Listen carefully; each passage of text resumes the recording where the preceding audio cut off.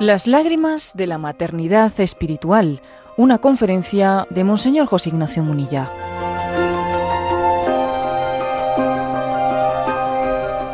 Impartió esta charla al grupo Retiro Emaús de Alicante el 8 de febrero de 2023.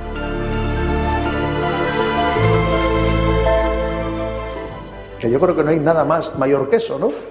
Colaborar con Cristo en la salvación de las almas, porque los discípulos de Cristo no solo somos discípulos, somos también apóstoles. La condición de discípulos y apóstoles pues está integrada. Entonces quisiera subrayar algún aspecto concreto de, de qué manera, ¿no? Pues un servidor lleva adelante esa oración por esas almas, lleva adelante ese servicio por las almas.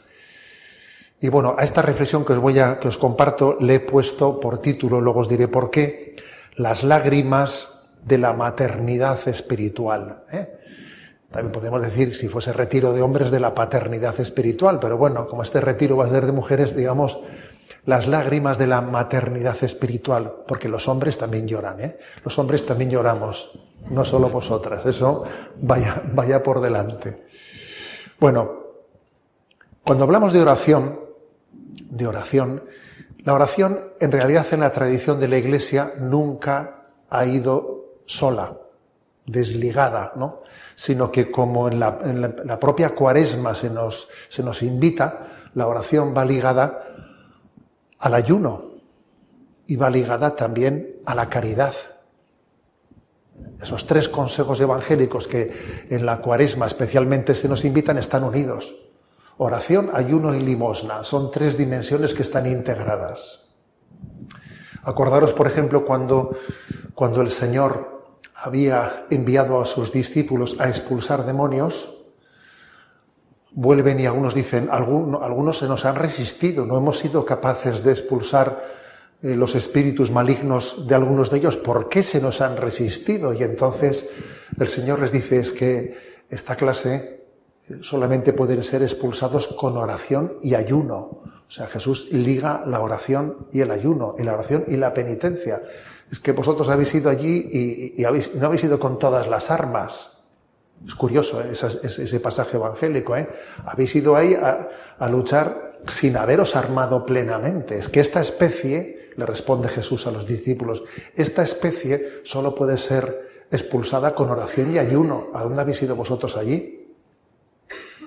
Esta batalla es una batalla que en el fondo es contra contra los espíritus malignos. No nos equivoquemos de enemigo. No estamos luchando contra la cabezonería de una persona, ¿eh? que hay algunos que son un poco cabezones, a ver si se, ¿eh?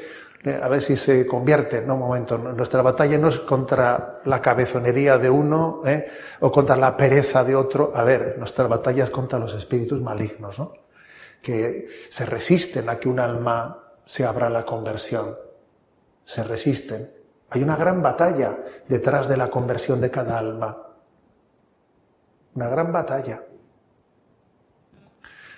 San Pedro Crisólogo, ¿eh? pues un, padre de la Iglesia, insiste cómo estas tres dimensiones, oración, penitencia y caridad, que es otra manera de hablar de oración, ayuno y limosna, ¿no? Oración, penitencia y caridad, estas tres dimensiones están íntimamente unidas.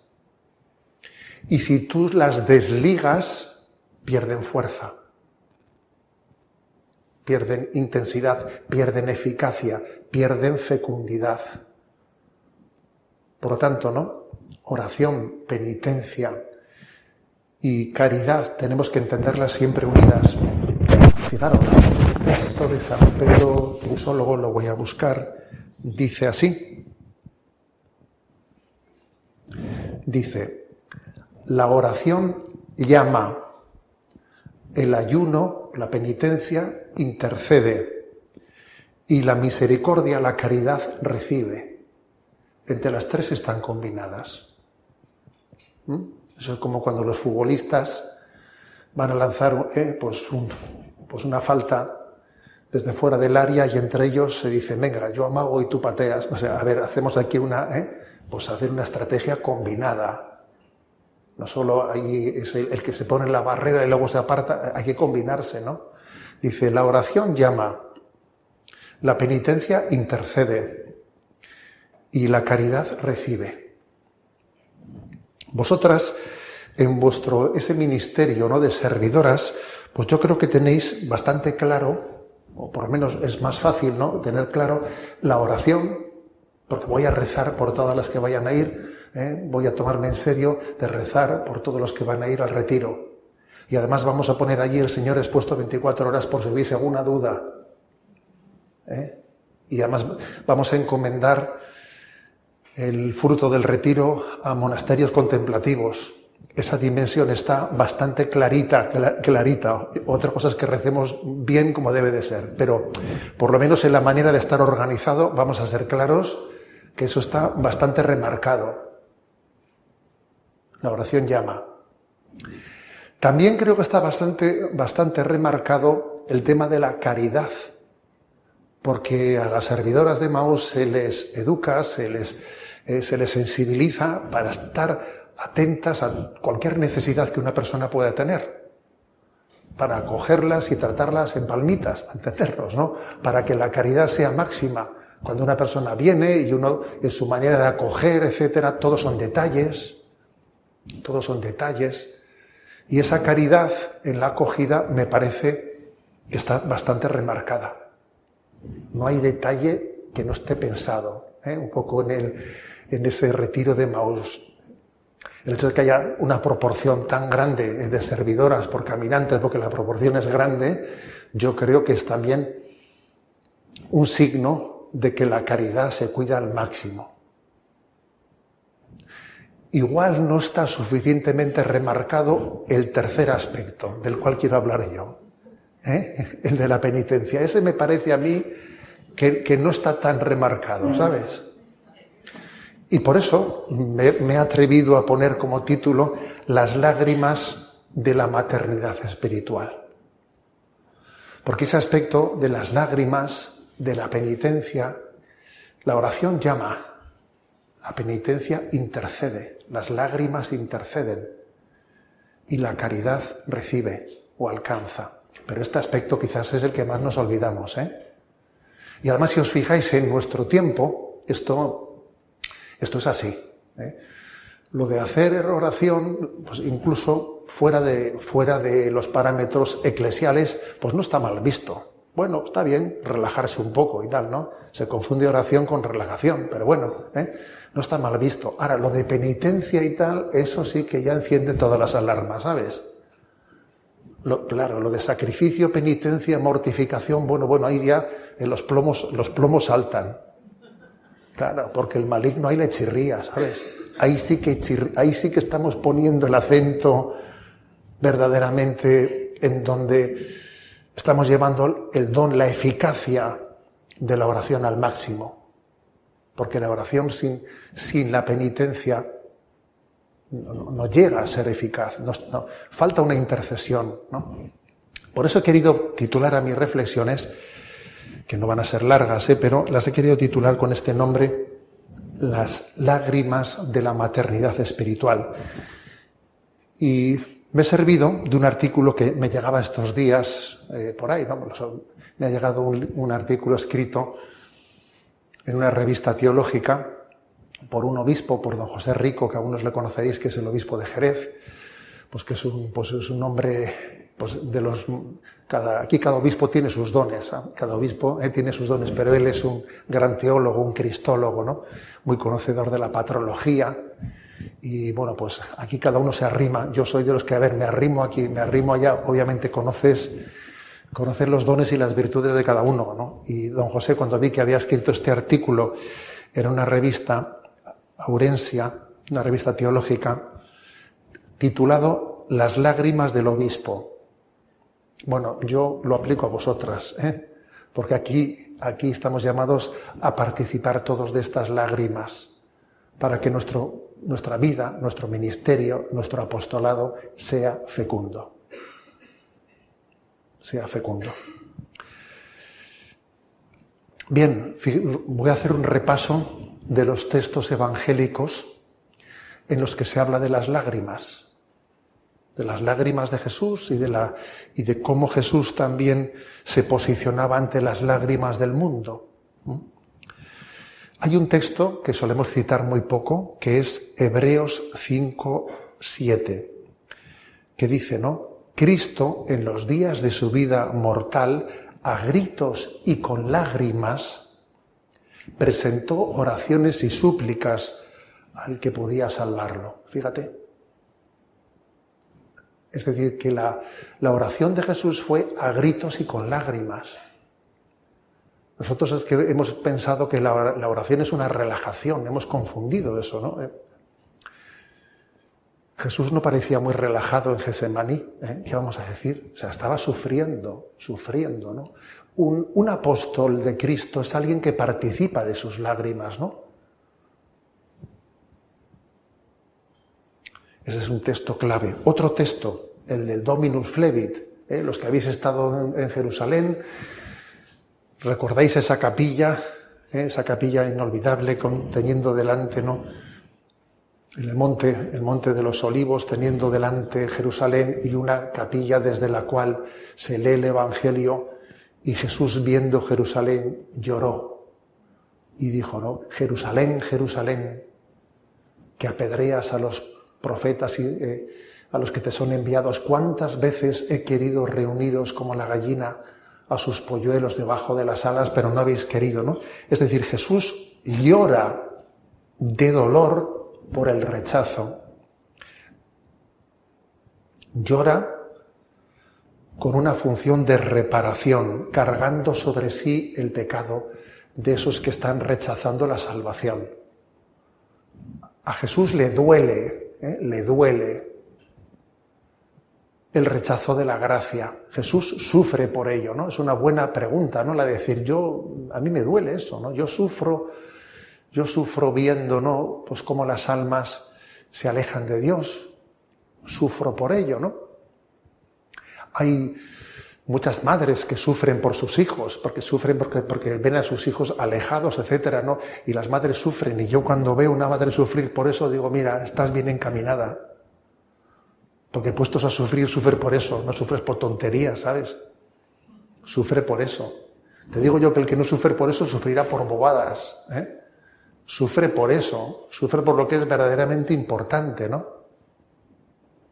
Jesús lloró eh, las suyas eran lágrimas de dolor. Y también está el episodio, el episodio de Lázaro, que cuando Lázaro muere, Jesús va a verle y allí dice en Juan 11, 35, Jesús se echó a llorar. ¿eh? Se echó a llorar. Y por cierto, es el versículo, no sé si sabéis esta anécdota, es el versículo más breve de toda la Sagrada Escritura. ¿eh? Sabéis que la Sagrada Escritura se dividió en el siglo XVI en versículos, ¿no? Pues el versículo más breve, que tiene menos palabras, que solo tiene cinco, es Juan 11, 35. Jesús se echó a llorar. Es un solo versículo. Quizás cuando dividieron en versículos ese texto les pareció tan impresionante esto que lo dejaron como un versículo aparte. Jesús se echó a llorar. Jesús llora con los que lloran, porque la gente de allí está llorando. Jesús llora por los que lloran. Y yo creo que también Jesús llora por los que no lloran y deberían de llorar, ¿sabes? Porque también esa es otra, ¿eh? que quizás es el mayor dolor de todos. Llorar por los que no lloran y están a por uvas. ¿eh? Y no y entonces las lágrimas de Jesús ante el sufrimiento por, por la muerte de Lázaro son unas lágrimas que nosotros nos, en las que aprendemos de Jesús a llorar, a compartir el sufrimiento del mundo. Jesús puede decir, ¿no? ¿Quién llora sin que yo no llore con él? ¿Quién ríe sin que yo no ría con él? Estamos llamados a que nuestra oración sea una oración, pero que participe de los sentimientos del corazón de Cristo. A llorar y sufrir por, por lo que acontece en el mundo, ¿no? Ha ocurrido ahora lo del terremoto. No es normal que lloremos. Es normal que lloremos. Quizás el hecho de que ante una situación así quedemos pues impasibles no es normal. Lo lógico es que lloremos. Lo lógico, es que, que también participemos de alguna manera de esa pasión. Y fijémonos también en, en las actitudes de Jesús ante quienes lloran. Porque esos tres textos a los que me he referido hablan de las lágrimas de Jesús. El de la carta a los hebreos, en los que dice que Jesús a gritos y con lágrimas suplicaba a Dios. El del Dominus Flevit, eh, Jesús lloró al ver que Jerusalén no le, no le acogía y lloró ante la, ante la muerte de Lázaro, ¿no? Pero también es muy interesante ver otros textos en los que Jesús se posiciona ante las lágrimas. Uno es el de, el de las bienaventuranzas, obviamente. Jesús proclama bienaventurados a los que lloran. Bienaventurados los que lloran, porque serán consolados. En su obra Jesús de Nazaret, Benedicto XVI distingue entre las lágrimas de la desesperanza y la de quienes se conmueven ante la verdad y se convierten. Estas son las lágrimas que Jesús proclama, bienaventurados los que lloran. Se conmueven ante la verdad, ¿no? Son las lágrimas de los que lloran enfrentándose al poder del mal. Son lágrimas que no pactan con el mal, ¿no? Jesús proclama bienaventurados a los que derraman lágrimas de dolor, de arrepentimiento por el propio pecado, por el del prójimo, por el de un mundo, por el de un mundo que es insensible hacia el destino de los más débiles. Jesús proclama bienaventurados a los que lloran, ¿no? Y ojalá nosotros, ¿no? Pues seamos destinatarios de esa bienaventuranza. También hay otro pasaje, el de Lucas 7:13, ese encuentro de Jesús con la viuda de Naín, la viuda de Naín que había perdido a su hijo único. Tú fíjate, viuda y pierde a su hijo único, y en ese momento, ¿no? Pues se está encontrando la misericordia con, con el corazón absolutamente desolado, ¿no? Y lo que es impresionante es que dice que las lágrimas de aquella mujer, el poder de sus lágrimas, provocan la compasión de Jesús y obtienen el don de la vida, el don de la resurrección. Es una mujer que es imagen de la Iglesia, imagen de vosotras, imagen de todos nosotros, que lloramos por los hijos muertos por el pecado mortal. A ver, tenemos hijos que están muertos por el pecado mortal. El pecado mortal es una muerte, ¿eh? Es una muerte en el alma. Y el Señor quiere llamar a la resurrección a las almas, por la vida de gracia. Comentando ese texto, fijaros, San Juan de Ávila le escribía al entonces arzobispo de Granada, ¿no? Y le decía, le quería decir que no dejase de llorar por las almas que Dios le había encomendado. Le dice, aprenda vuestra señoría a ser mendigo delante del Señor y a importunarle mucho, presentándole su peligro y el de sus ovejas. Y si verdaderamente se, se supiere llorar así y a ellas, el Señor que es piadoso le resucitará su Hijo muerto, porque como a Cristo costaron sangre las almas, han de costarle al prelado lágrimas. Le dice a San Juan de Ávila al obispo de Granada. A ver, a ti te tienen que costar lágrimas las almas. Tú tienes que llorar pidiendo la conversión de, las almas, ¿no? Es impresionante ¿eh? ver, ver San Juan de Ávila. San Juan de Ávila entiende así el apostolado. Él lo entiende de esta manera. Es que no sé si somos conscientes de lo que he dicho antes, de la batalla que supone la conversión de cada uno de nosotros. ¿eh? Otro texto, Lucas 8:52. Jesús se compadece ante Jairo, el jefe de la sinagoga, quien le suplicaba por su hija, ¿no? Cuando llega a su casa, allí, sin embargo, corrige a las plañideras, fíjate, porque dice, todos lloraban y hacían duelo por ella, pero él les dijo, no lloréis, porque no ha muerto, sino que está dormida. Ellos se reían, se reían de él, ¿no? Es decir, que lloraban y se reían. Llanto y risa expresa una incredulidad que merece el reproche de Jesús. A las plañideras que pasan de las lágrimas a la risa, en el fondo, Él les dice, no tenéis esperanza, vuestras lágrimas de antes eran lágrimas de falta de esperanza y vuestra risa de ahora es risa de falta de esperanza, ¿no? Jesús quiere que nuestras lágrimas sean lágrimas con, con esperanza. Otro texto, Lucas 7, 37. ¿eh? Jesús recoge las lágrimas de arrepentimiento de aquella mujer pecadora. En esto una mujer que había en la ciudad, una pecadora, al enterarse de que estaba comiendo en casa del fariseo, vino trayendo un frasco de alabastro lleno de perfume y colocándose detrás junto a sus pies, llorando, se puso a regarle los pies con las lágrimas, se los enjugaba con los cabellos de su cabeza, los cubría de besos y se los ungía con el perfume. Los padres de la Iglesia han visto en este texto de aquella mujer pecadora, pues por una parte, el arrepentimiento y las obras de caridad, ¿no?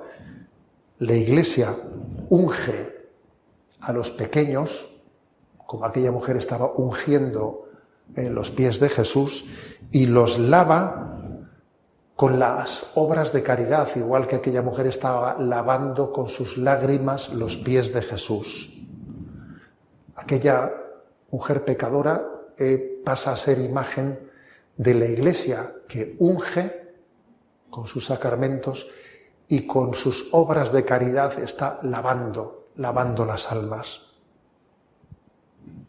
Otro texto, el de las negaciones de Pedro, ¿eh?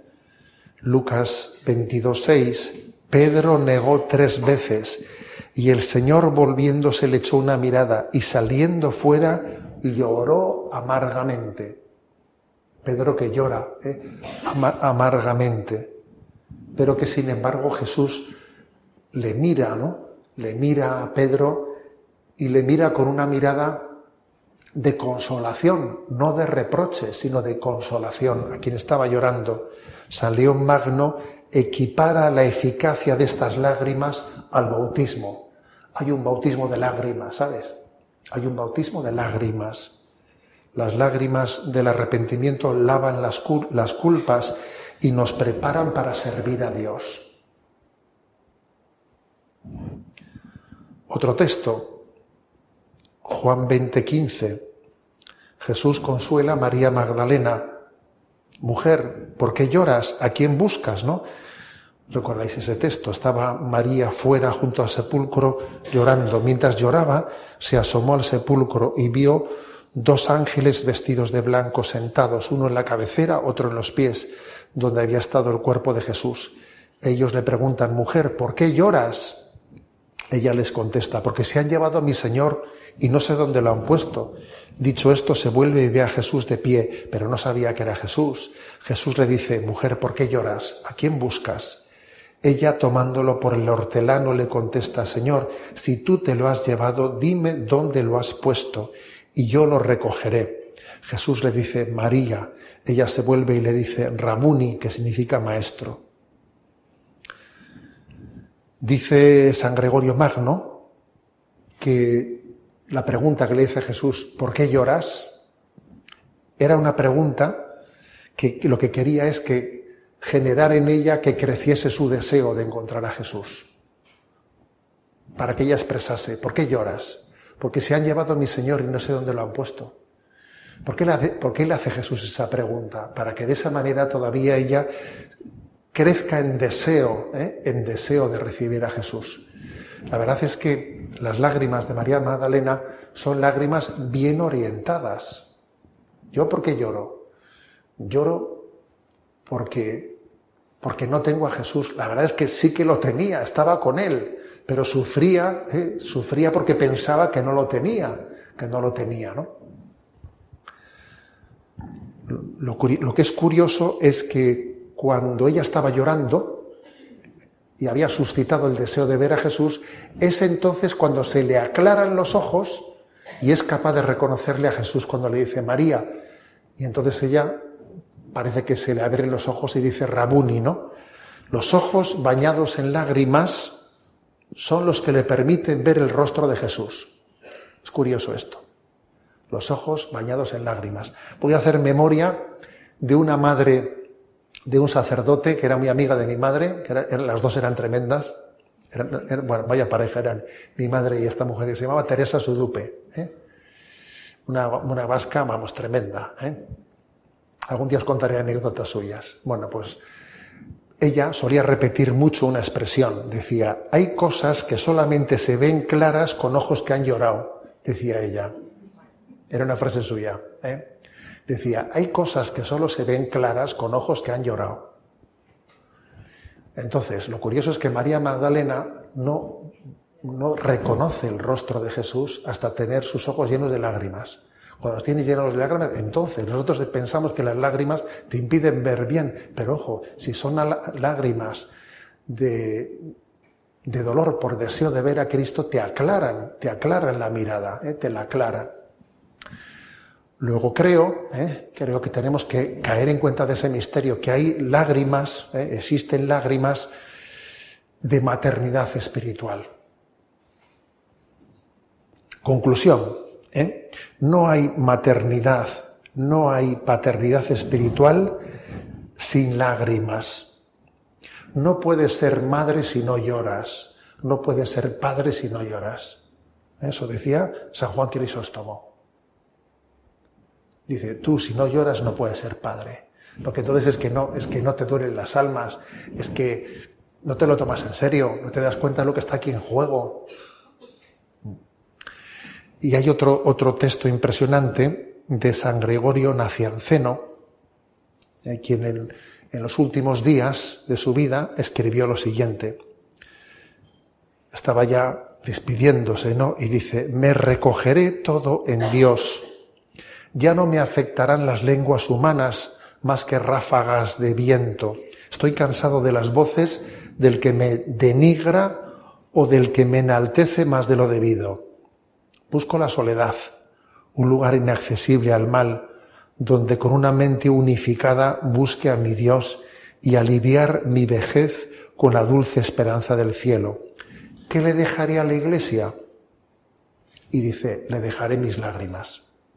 Fíjate, ese es como el testamento de San Gregorio Nacianceno. ¿Qué, ¿Qué, le voy a dejar a la iglesia? Le voy a dejar mis lágrimas. ¿eh? es mi, es mi aportación, ¿eh? es mi testamento, te voy a dejar mis lágrimas. ¿eh? A un hijo se le pueden dejar unas lágrimas de, de, testamento. ¿eh? Os voy a decir que una de las experiencias más fuertes que yo tuve como sacerdote jovencito fue un hombre que era médico oncólogo y me acuerdo que me vino a visitar me enseñó una placa, así de pulmón y tal, y me dice, ¿ve usted esta placa? Me dice, este hombre tiene aquí un tumor en este sitio tal, tal, tal, tal, le queda aproximadamente un par de meses de vida. Me dice, y este soy yo, me dijo, fíjate, claro, era, era una placa de él. ¿eh? Y me dijo, yo le pediría a usted que me acompañe estos dos meses y claro, fíjate tú, ¿no? Y, claro, el hombre tenía con sus hijos, tenía sus luchas, sus problemas, ¿sabes? Tenía mucho, vamos, un hombre, un hombre, un alma sufriente. Y me acuerdo que iba escribiendo una carta para cada uno de sus hijos y me la entregaba a mí para que yo, cuando él falleciese, se la entregase a cada uno. Me fue entregando cartas para que después de su fallecimiento yo se la entregase a personas determinadas.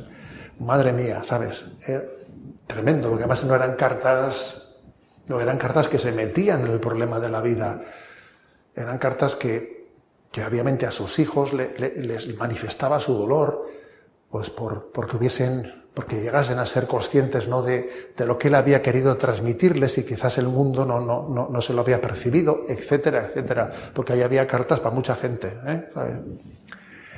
Y, y la verdad es que cuando yo leí este texto de San Juan Crisóstomo, mejor dicho, de San Gregorio Nacianceno, eso de que, que le dejaré, le dejaré mis lágrimas, me acordé de este hombre. Dije, este hombre le dejó sus lágrimas a uno y a otro y a otro. En definitiva, yo lo que os estoy compartiendo es que nuestra oración, para que sea fecunda, para que sea eficaz, tiene que ser una oración que esté ligada a la intercesión de, la, de nuestro sufrimiento delante de Dios, de nuestra penitencia, de nuestro ayuno, de nuestro sacrificio, ¿no? Sabemos que como dice Santa Teresa de Jesús, estás el mundo ardiendo, eh, queridas hermanas, dice Santa Teresa, y nosotros aquí, aquí estamos distraídas en tonterías, no estamos para, no estamos para eso, estás el mundo ardiendo. Eh, y no podemos nosotros ahora mismo eh, tener nuestros, nuestros corazones y nuestra atención en vanidades y en pequeñas cosas, ¿no? en tonterías. Mi conclusión, ¿no? Mi conclusión es que nuestra oración tiene que ser una oración ligada a la penitencia y a la caridad, en esa tríada indisoluble de oración, penitencia y caridad. Y posiblemente, ¿no? Pues como os decía al principio, la, primera dimensión de la oración y la tercera dimensión de la caridad, pues creo que gracias a Dios están suficientemente, ¿eh? suficientemente reflejadas en la metodología y tal como las se suelen preparar los retiros. Pero es importante que unamos nuestras lágrimas y nuestra penitencia y nuestro ayuno, lo unamos también a esa oración intercesora. ¿eh? Os recuerdo, ¿no? La expresión de San Pedro Crisólogo y me quedo con ella. La oración llama, la penitencia intercede, las lágrimas interceden ¿eh? y la caridad recibe. La caridad es el pequeño adelanto del don de la conversión, de ese don de la conversión que, es, que, estamos pidiendo en un retiro de Maús, ¿no? Es el adelanto, son las arras de ello. Os deseo de todo corazón ¿eh? que vuestra oración esté unida a la de Jesucristo, que vuestras lágrimas sean las lágrimas de Cristo. ¿Por qué sufro en esta vida? Por lo que al corazón de Cristo le hace sufrir. ¿De qué me alegro en esta vida? De las alegrías del corazón de Cristo. Yo no quiero ¿eh? sufrir por cosas que a Jesús no le hacen sufrir.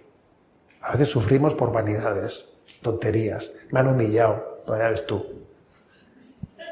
Me han despreciado, pues. ¿Eh? Y sufrimos un montón, ¿eh? Yo por eso no quiero sufrir, oye. Eh, yo por eso no quiero sufrir. ¿Estamos sufriendo por eso? Pues no. Yo quiero sufrir por lo que al corazón de Cristo le hace sufrir. Y yo quiero alegrarme con las alegrías del corazón de Cristo, no por bobadas, no por vanidades, ¿no? Yo creo que esa es la conclusión, ¿eh? la conclusión a la, que llegamos. Y de esa manera nuestra oración será mucho más eficaz. Será mucho más eficaz. Porque a veces hemos desligado los tres aspectos. Los hemos desligado. Entonces, te pongo un ejemplo. Tú imagínate una persona que que dice, no, es que me distraigo mucho en la oración, hago un poco mal en la oración, ¿no? Y es una persona, pues, bastante, eh, pues, llena de caprichos y tal, ¿no? Le digo, haz una prueba. Despréndete de tus caprichos y da una limosna seria a los pobres y necesitados, pero algo que te cueste de verdad, ¿no? Haz la prueba. ¿A qué ese día rezas mejor? claro, claro, claro, claro, que ese día vas a rezar mejor. Pero si eso no tiene que ver nada, ¿cómo que no tiene que ver nada? ¿O te crees tú que la oración es un capítulo aparte de la vida? Claro, si tú, te, eres, estás apegado a tus caprichos y te desprendes de ellos, te digo yo que rezas mejor, claro. Y podemos ese ejemplo, le diré, si nos tomamos en serio, ¿no? Nuestra vida de oración, la vida de oración nos introduce en los sufrimientos del corazón de Cristo y del sufrimiento del corazón de Cristo y de sus alegrías y de, y sus penas, llegamos también a lo que es dar nuestra vida en caridad, entregar nuestra vida en caridad gratuita y generosa por los demás, ¿no? Por eso eh, os deseo de todo corazón esto y, que sepáis que, que estamos unidos ¿eh? en, la, en, la, oración de intercesión por ese retiro que tantos esperamos. Y también os quiero felicitar ¿eh? por el hecho de que estéis a punto, ¿no? De, bueno, pues de, de iniciar pues el nuevo Maús en Elche, de que estemos a puntito de, en esa, en esa generosidad que os pedí, que me acuerdo que la última vez que vine os pedí que seamos generosos, que nos abramos, que, que nos multipliquemos, que demos saltos por la diócesis. Y bueno, os lo pedí y yo, eh, ahora que está eso, el mismo momento de producirse, os agradezco vuestra generosidad. Y os digo que no, que no quitéis el pie del acelerador, que todavía nos tenemos que multiplicar más, ¿sabes? Nos tenemos que multiplicar más. Y, y tiene que llegar el momento en el que pues en todos los lugares de la diócesis tengamos esa presencia y esa capacidad de multiplicar los retiros. ¿De acuerdo? ¿Eh? Estoy seguro que este paso que se va a dar ahora también ha sido fruto de mucha oración hecha de esta manera a la que me estoy refiriendo y de muchas lágrimas que han sido ofrecidas con Cristo. Sin esas lágrimas no se hubiese producido este paso, ¿no? Que ahora mismo estamos a punto de dar. Gloria al Padre, al Hijo y al Espíritu Santo, como era en el principio, ahora y siempre, por los siglos de los siglos. Amén. Así finaliza en Radio María la conferencia de Monseñor José Ignacio Munilla titulada Las lágrimas de la maternidad espiritual. Fue impartida el 8 de febrero de 2023 dentro de un retiro Emaús en Alicante.